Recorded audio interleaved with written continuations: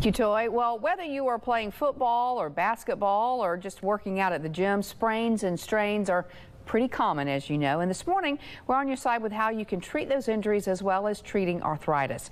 And Dr. Robert Dean Lolley, an orthopedic surgeon with Precision Sports Medicine, joins us by FaceTime this morning. Dr. Lolley, good morning.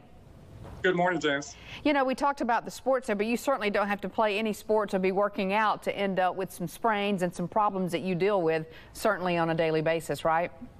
Right. What do Uh, you... kind Go ahead.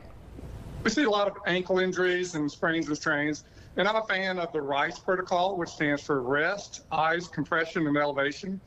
Uh, those patients who can take Tylenol and Advil can benefit from that as well.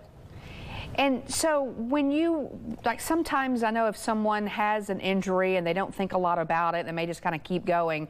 And oftentimes, as humans do, we wait till it's really a problem to come to the doctor. So how do you know when you do need to have it looked at instead of waiting too long?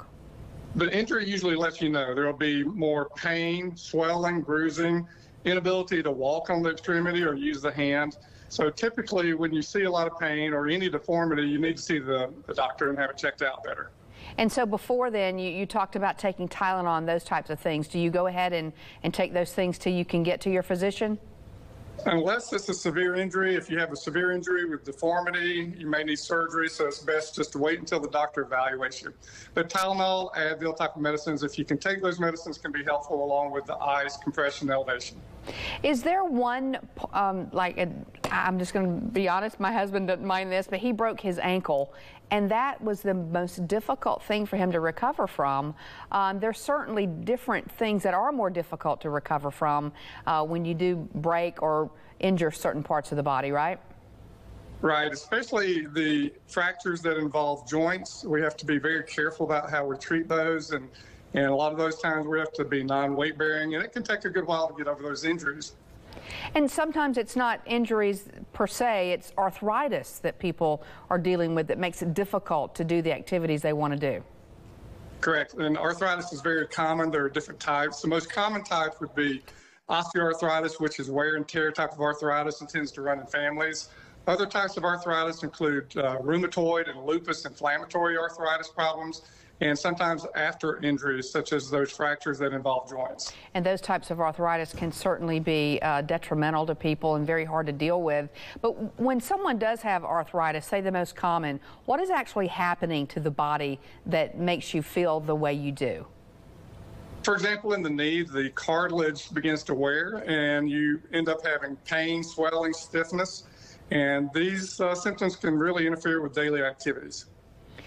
So when you're treating arthritis, do you is it an, how easy is it to diagnose that? I guess is what I'm trying to get to. Do you try to treat it yourself, or is there a certain way that you can be diagnosed that they'll know exactly what you need to be taking?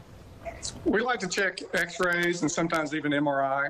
Uh, treatment, for example, for a knee can include simple measures such as ice, heat, sports creams, a knee sleeve, Tylenol and anti-inflammatory medicines, a walking program, avoiding high impact activities, weight loss when necessary, and sometimes even steroid injections. And I know a lot of times um, you're trying to avoid surgery, so you'll do physical therapy, but sometimes physical therapy can be very difficult for someone who is in a lot of pain. So, what do you say about that, and when do you make that decision that surgery might be the answer? A good therapist will modify the routine and, and work you through that, and it can be very helpful.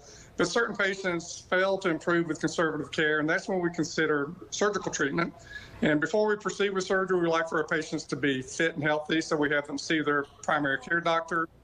Four factors we like to approach would be smokers need to stop smoking, Patients who have diabetes need to have their blood sugars under good control. And we check something called the hemoglobin A1C in that situation. It needs to be below 8 Uh, patients who are overweight need to lose weight. Uh, we like for the BMI, the body mass index, to be below 40. And we like to make sure all our patients are well nourished. And we can check the albumin on a blood test to make sure it's above 3.5.